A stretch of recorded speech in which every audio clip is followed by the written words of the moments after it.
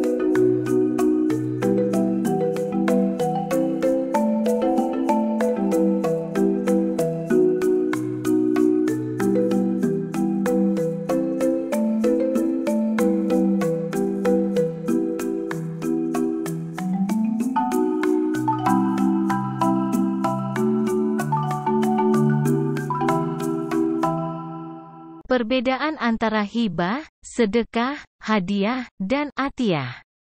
Hibah adalah pemberian harta ataupun benda oleh seseorang kepada orang lain pada waktu masih hidup tanpa mengharapkan penggantian sedikitpun.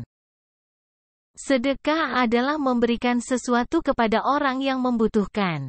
bertujuan untuk mendekatkan diri kepada Allah.